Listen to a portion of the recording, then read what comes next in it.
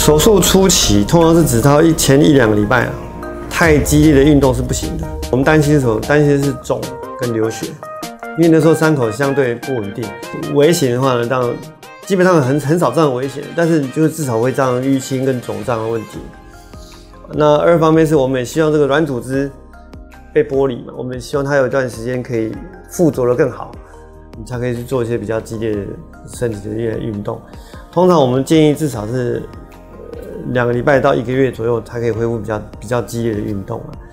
当然，如果说有些像像做颧骨骨头是被切断重新固定的，它需要更久的保护期嘛，像说激烈碰撞，像刚我说打球类东西，有有时候会有肢体碰撞很严重的那种那种运动。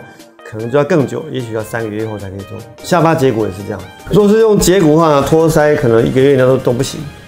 如果是模型化呢，你只要不怕痛的话，其实是 OK，因为我们都有固定。当然，现在有有有些手术它强调不固定，不固定的话，那你这个时候你这个就要承担这样模型偏移的风险了。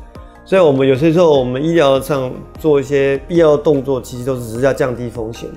当然，你可以省略，省略的话呢，风险就变成个人要去承担。